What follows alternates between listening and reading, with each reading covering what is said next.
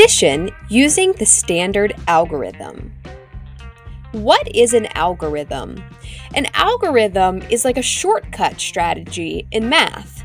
Once you understand a math concept, you can use an algorithm to save time. We know we can use base 10 blocks to add numbers, like 125 plus 212. First, I'll make the first number with five ones, two tens, and a hundred. Then I'll add the second number to it. I need two more ones, one more 10, and two more hundreds. I can look at the blocks to see that my answer is 337. Now let's look at that using the standard algorithm to add. Let's use the same addition problem, 125 plus 212 except we'll want to rewrite it so that the numbers are lined up on top of each other like this. First, we're going to add up the ones place. So 5 plus 2 is 7. Then we'll add up the tens place. 2 plus 1 is 3. And finally, we'll add the hundreds together. 1 plus 2 is 3. Be careful when lining up the numbers. You have to keep the place values together. Take a look at this problem 3,413 plus 522. The thousands in the top number are on top of the hundreds in the bottom number. This will not work. We have to keep all of the ones lined up, the tens lined up, the hundreds lined up. Keep the places together. That's better. Now we can add them together. Adding the ones, 3 plus 2 is 5. Add the tens, 1 plus 2 is 3. Add the hundreds, I have four hundreds in the top number and five hundreds in the bottom, and that's nine hundreds. And then I have 3,000 plus, I don't have any thousands in my bottom number, so it's still just 3,000. 3,935.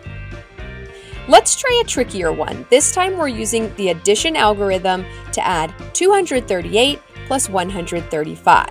So we know we need to start in the ones place. Let's add our ones together. 8 plus 5 is 13. Hmm. I can't put a 13 in the ones place. I need to regroup this. 13 is really 10 and 3. So I can put 3 in the ones place, those are ones. But 10, that needs to go in the tens place. 10 ones is actually just one 10. So I can put a 1 above the tens place, adding another group of 10 over there. Now I'll add all the tens together. Now I have one 10, three tens, and another three tens, which is seven tens. And finally, I'll add the hundreds. 2 plus 1 is 3. We can use the addition algorithm to solve problems with larger numbers.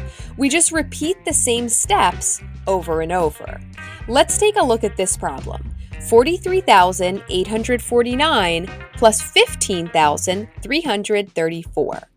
We'll start in the ones place. 9 plus 4 is 13. And we know we can't put a 13 in the ones place. So we put down three ones and carry or regroup that group of 10 to be with the other 10s. Now let's add all our 10s together. 1 10 plus 4 10s plus 3 10s is 8 10s. Let's add the hundreds. 8 plus 3, that's 11, but I can't put an 11 in the hundreds place. I'll put 100 and carry the other 10 hundreds over.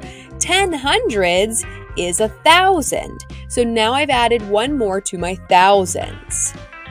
1,000 plus 3,000 plus 5,000 is 9,000. And then I have four groups of 10,000 plus one group of 10,000 or five. 59,183 is the answer to this addition problem. Let's review. Line up the numbers on top of each other, keeping the place values together. Add each digit together, always starting in the ones place.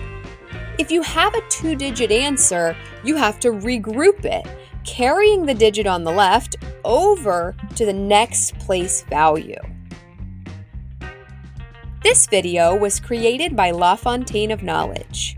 Check out the link in the description for lesson materials that go along with this video and subscribe to my channel for more videos like this.